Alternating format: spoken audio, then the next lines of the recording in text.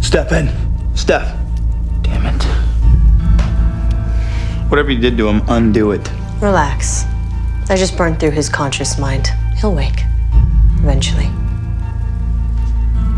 You sure you want to take him home? You and Elena were doing so well without your guilt getting in the way. Spying on us from the other side? Don't flatter yourself. It was like watching a soap opera. Except boring and with no volume control. You know, there was one thing worse than being on the other side and watching Silas resist the cure. Oh, yeah? What was that? Realizing that your plan totally sucked. Century after century, I watched versions of Stefan and Elena find each other.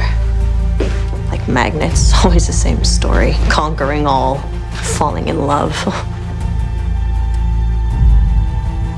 You didn't think your brother was Silas's first shadow. Destiny has been trying to get the doppelgangers together forever. Look here, Miss Crazy, why don't we just dial down the Destiny talk a notch? Okay?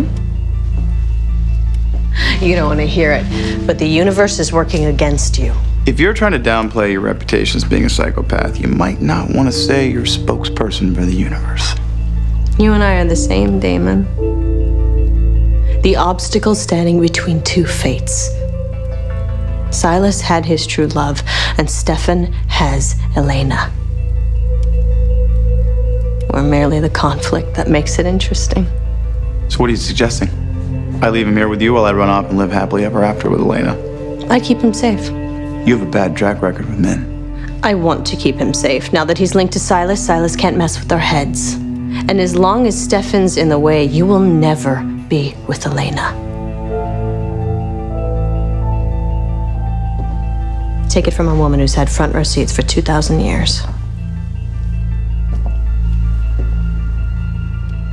No one would have to know. No one has to know.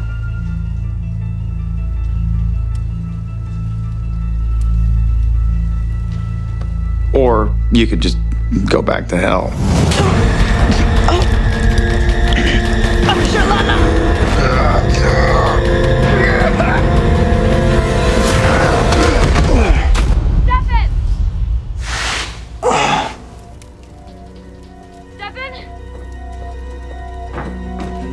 Stefan? Oh, Stefan! Hey. Oh. Stefan, hey. Stefan, can you hear me? Stefan! Oh my